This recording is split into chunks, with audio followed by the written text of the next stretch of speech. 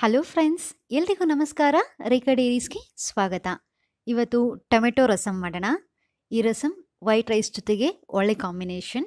ಅದ್ರ ಜೊತೆಗೆ non veg ಎಲ್ಲ ಮಾಡಿದಾಗ ಅಥವಾ ಬೇರೆ ಏನೋ ಊಟ ತಿಂದಾಗ ಲಾಸ್ಟಲ್ಲಿ ಅನ್ನದ ಜೊತೆ ಈ ರಸಂ ಸ್ವಲ್ಪ ತಿಂದರೆ ಚೆನ್ನಾಗಿ ಡೈಜೆಷನ್ ಆಗುತ್ತೆ. ತುಂಬ ಚೆನ್ನಾಗಿರುತ್ತೆ ರಸಂ. ಮಾಡೋದು ಕೂಡ ತುಂಬ ಸುಲಭ. ಬನ್ನಿ ಈಗ ಇನ್ಗ್ರೀಡಿಯೆಂಟ್ಸ್ ಏನೇನು ಬೇಕು ಅಂತ ನೋಡೋಣ.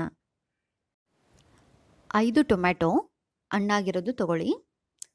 ಒಂದು ಚಿಟಿಕೆ ಹಿಂಗು ಒಣಗಿದ ಮೆಣಸಿನ್ಕಾಯಿ ಹಾರು, ಬೆಳ್ಳುಳ್ಳಿ ಒಂದು ಹತ್ತೆಸ್ಲು ಮೀಡಿಯಮ್ ಸೈಜ್ದು ಒಂದು ಗಡ್ಡೆ ಇದೆ. ಸ್ವಲ್ಪ ಕೊತ್ತಂಬರಿ ಸೊಪ್ಪು, ಸ್ವಲ್ಪ ಕರಿಬೇವು ಸೊಪ್ಪು, ಮತ್ತು ಜೀರಿಗೆ, ಮೆಣಸು, ಮೆಂತ್ಯ ಈ ಮೂರು ಸೇರಿ ಹುರಿದ್ಬಿಟ್ಟು ಪುಡಿ ಮಾಡಿರೋಂಥ ಮಿಕ್ಸ್ಚರ್ ಈ ಪೌಡರು ಎರಡು ಸ್ಪೂನು ಜೀರಿಗೆ, ಮೆಣಸು, ಮೆಂತ್ಯ ಮೂರು ಸೇರಿ ಎರಡು ಸ್ಪೂನ್ ಪೌಡರ್ ಸಾಸಿವೆ ಅರ್ಧ ಸ್ಪೂನ್ ಅರಿಶಿನ ಪುಡಿ ಕಾಲು ಸ್ಪೂನ್ ರುಚಿಗೆ ತಕ್ಕಷ್ಟು ಉಪ್ಪು, ಎಣ್ಣೆ ಎರಡು ಮೂರು ಸ್ಪೂನ್. ಈಗ ಮಾಡೋದು ಹೇಗೆ ಅಂತ ನೋಡೋಣ. ಟೊಮೆಟೊನ ಈ ಥರ ಎರಡು ಪೀಸು ಅಥವಾ ನಾಲ್ಕು ಪೀಸಾಗಿ ಕಟ್ ಮಾಡ್ಕೊಳ್ಳಿ. ಕಟ್ ಮಾಡಿಬಿಟ್ಟು ಫಸ್ಟ್ ಟೊಮೆಟೊ ಎಲ್ಲ ತೊಳೆದ್ಬಿಟ್ಟು ಕಟ್ ಮಾಡಿ. ಈಗ ಟೊಮೆಟೊನ ಬೇಯಿಸ್ಕೊಳ್ಳೋಣ. ಒಂದು ಎರಡು ಗ್ಲಾಸ್ ನೀರು ಹಾಕಿ ಬೇಯಿಸ್ಕೊಂಡ್ರೆ ಸಾಕಾಗುತ್ತೆ. ಒಂದು ಪಾತ್ರೆಲ್ಲಾದರೂ ಬೇಯಿಸ್ಕೋಬೋದು ಅಥವಾ ಕುಕ್ಕರಲ್ಲಿ ಇಟ್ಟರೆ ಒಂದು ವಿಷಿಲ್ ಬೇಯಿಸ್ಕೊಳ್ಳಿ ಬೆಂದಿರುತ್ತೆ.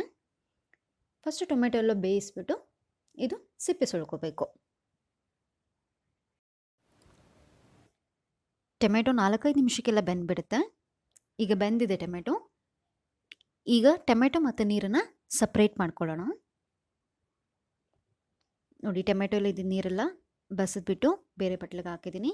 ಇದಕ್ಕೆ ತಣ್ಣೀರು ಹಾಕಿದ್ರೆ ಸಿಪ್ಪೆ ಈಸಿಯಾಗಿ ಸುಲಿಬೋದು. ಒಂದು ಗ್ಲಾಸ್ ತಣ್ಣೀರು ಹಾಕ್ಕೊಳ್ಳಿ. ಸಿಪ್ಪೆ ಎಲ್ಲ ತೆಗೆದ್ಬಿಡಿ.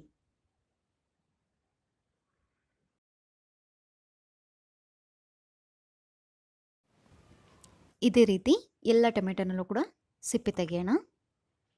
ನೋಡಿ, ಈಗ ಎಲ್ಲ ಟೊಮೆಟೊದಲ್ಲೂ ಸಿಪ್ಪೆ ತೆಗೆದಿದ್ದು ಹಾಕಿದೆ.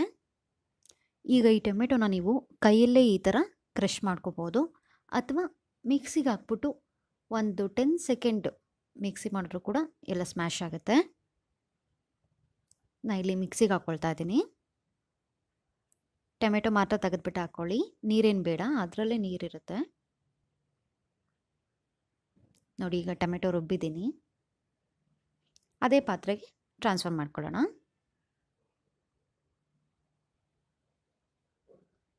ಈಗ ಟೊಮೆಟೊ ಬೇಯಿಸಿದ ನೀರಿತ್ತಲ್ವ ಅದನ್ನು ಕೂಡ ಇದೇ ಪಾತ್ರೆಗೆ ಹಾಕ್ಕೊಳ್ತಾ ಇದ್ದೀನಿ.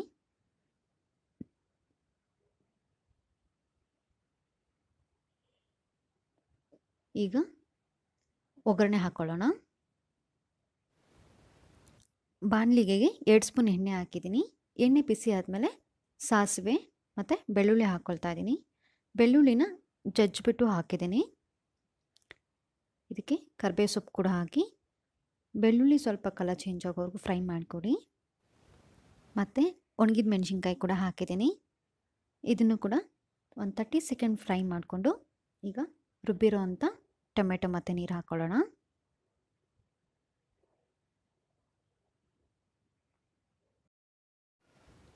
ಈ ರಸಮ್ ಬೇಗನೆ ಮಾಡ್ಕೋಬೋದು.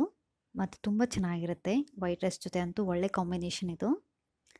ಇದಕ್ಕೆ ರುಚಿಗೆ ತಕ್ಕಷ್ಟು ಉಪ್ಪು ಹಾಕ್ಕೊಳ್ತಾ ಇದ್ದೀನಿ ನಾನು ಒಂದೂವರೆ ಸ್ಪೂನ್ ಉಪ್ಪು ಹಾಕಿದ್ದೀನಿ. ನೀವು ರಸಮ್ ಎಷ್ಟಿದೆ ಅದಕ್ಕಾಗೋಷ್ಟು ರುಚಿಗೆ ತಕ್ಕಷ್ಟು ಹಾಕ್ಕೊಡಿ ಮತ್ತು ಒಂದು ಕಾಲು ಸ್ಪೂನ್ ಅರಿಶಿನ ಪುಡಿ. ಒಂದು ಚಿಟಿಕೆ ಹಿಂಗೆ ಹಾಕ್ಕೊಳ್ತಾ ಇದ್ದೀನಿ ಈಗೆಲ್ಲ ಒಂದ್ಸರಿ ಮಿಕ್ಸ್ ಮಾಡಿಬಿಟ್ಟು ಕುದಿಸ್ಕೋಬೇಕು.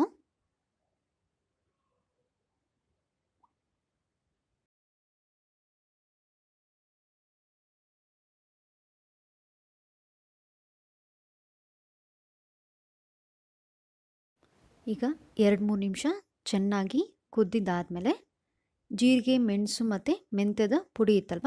ಈಗ ಹಾಕ್ಕೊಳ್ಳೋಣ ಅದು. ನೀವು ಬರೀ ಜೀರಿಗೆ ಪುಡಿ ಆದರೂ ಹಾಕೋಬೋದು ಅದು ಕೂಡ ಚೆನ್ನಾಗಿರುತ್ತೆ. ಅದ್ರ ಜೊತೆ ಸ್ವಲ್ಪ ಕಾಳು ಮೆಣಸು ಮತ್ತು ಮೆಂತ್ಯನೂ ಸೇರಿಸ್ಬಿಟ್ಟು ಪುಡಿ ಮಾಡಿಕೊಂಡ್ರೆ ರಸಮ್ ಟೇಸ್ಟು ತುಂಬ ಚೆನ್ನಾಗಿರುತ್ತೆ. ಈಗ ಜೀರಿಗೆ ಪೌಡರ್ ಹಾಕಿ ಆಯಿತು. ಕೊತ್ತಂಬರಿ ಸೊಪ್ಪು ಹಾಕ್ಕೊಳ್ತಾ ಇದ್ದೀನಿ ಲಾಸ್ಟಲ್ಲಿ